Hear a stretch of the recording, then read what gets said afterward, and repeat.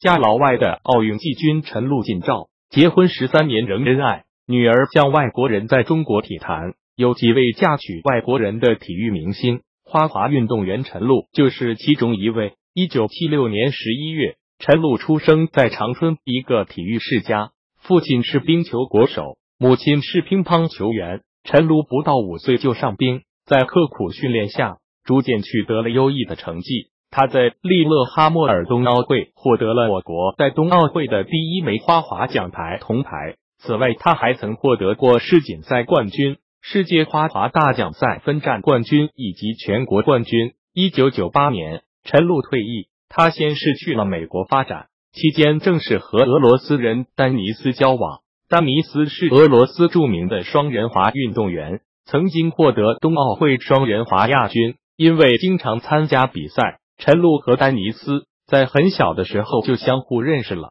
但直到二零零零年。两人才产生情愫。二零零五年，已经回国的陈露与丹尼斯结婚，两人婚后选择住在中国，并生下了一女一儿。两孩子都长得很像外国人。在陈露的坚持下，为了女儿安娜以后的更好发展，上了中国籍，而儿子则是俄罗斯籍。安娜继承了父母的基因，从小就展现出了花滑天赋。去年。他代表中国获得了亚洲青少年花样滑冰挑战赛北京站的冠军。现在八岁的安娜依然在坚持练习中。然而，由于她的可爱以及特别身份，她逐渐成为了小网红。在母亲的安排下，近来参加了多档综艺节目，所以未来不排除往娱乐圈发展的可能。而他们的儿子却喜欢网球，不喜欢滑冰。俄罗斯的网球出了好几位大满贯冠军。所以，拥有俄罗斯籍的他未来发展会更好。